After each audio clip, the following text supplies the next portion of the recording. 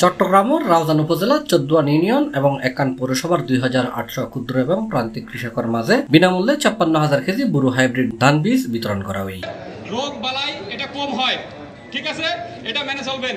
আর একটা বুধবার সকালে রাজন কৃষি সম্প্রসারণ অধিদপ্তরের বাস্তবায়নে ও উপজেলা প্রশাসনের সার্বিক সহযোগিতায় উপজেলা পরিষদ চত্বর কৃষি পুনর্বাসন কর্মসূচির আওতাত রবি মৌসুমত ক্ষুদ্র ও প্রান্তিক কৃষকলরে উৎপাদন বৃদ্ধির লক্ষ্যে এই বীজ বিতরণ করা হয়। দেখা যাচ্ছে একেবারে এটা মাটিতে শুয়ে পড়বে, এখান থেকে কিন্তু আমরা কোনো ফলন পাবো না। সুতরাং আপনাদের কাছে অনুরোধ, এখন মাঠে যে ধান এইটটি পার্সেন্ট পেকে গেছে, এটা দ্রুত কেটে ফেলবেন। সামনের সপ্তাহেই ঘূর্ণিঝড়ের একটা সমূহ সম্ভাবনা আছে। তারপরে কেটে ফেললে আমাদের দুশ্চিন্তা শেষ। তারপরে কিন্তু আমরা এই যে বীজতলাতে বীজ ফেলতে পারি আমরা শাক সবজির যে চাষগুলো আমরা সেটা করতে পারি।